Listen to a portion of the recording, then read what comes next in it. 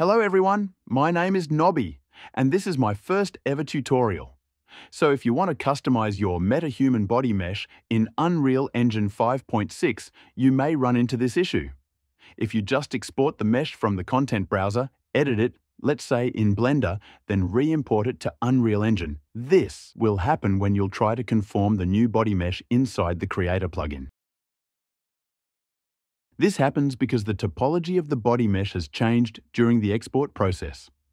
Things like vertice order, poly count, etc. has changed. But the Creator plugin needs the correct topology to work properly. So, here is a solution to get a body mesh with the correct topology. You can customize in Blender and finally conform in the Creator plugin, without any paid plugin or software like Maya. First, we need Quixel Bridge not the plugin version inside Unreal Engine. We need the standalone version of the bridge.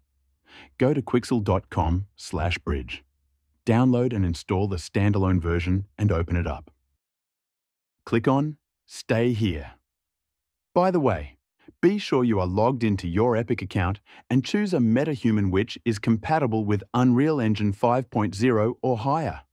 It doesn't matter if it's 5.2, 5.4 or 5.5. It even doesn't matter if it's a preset MetaHuman or one of your own ones. Let's go with Ada for this tutorial. Then go to the Download settings, go to Models, and change the MetaHuman from UAsset to Source Asset. That's the whole key. We need the source asset. And this is why we need to use the standalone version of the bridge. The plugin version does not support these download settings. OK, go back and download your MetaHuman. After it's downloaded, click on the three dots and choose Go to Files. Let's see what we got. 8K Asset Source MetaHumans Ada Source Assets.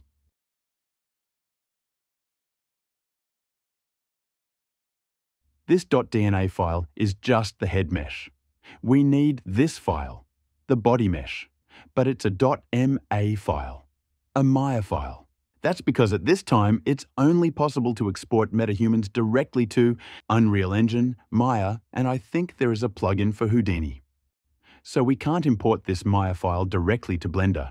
We need to convert it first. I found this great solution. It's a free online Maya to FBX converter that works great. Link in the description.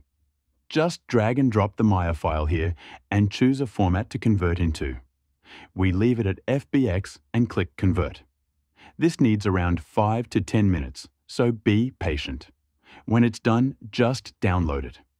Now we are ready to go to Blender. Import the converted FBX file. Click on Manual Orientation and choose Y forward and Z up.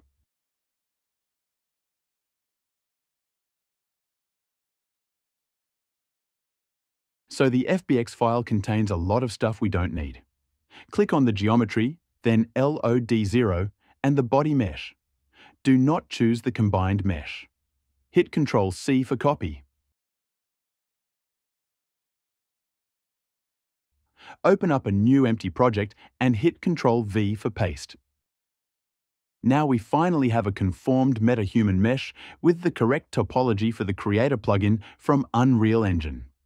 Let's try out some small customizations to prove if it's working.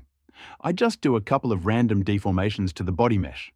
Then export the modified mesh as an OBJ file to keep the topology.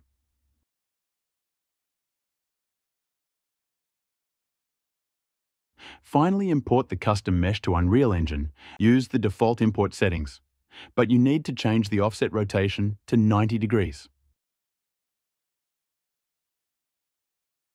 And conform from template inside the Creator plugin.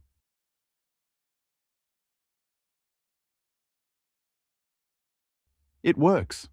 Hope you liked this tutorial and it was helpful. Leave a comment if you like more tutorials like this. Cheers!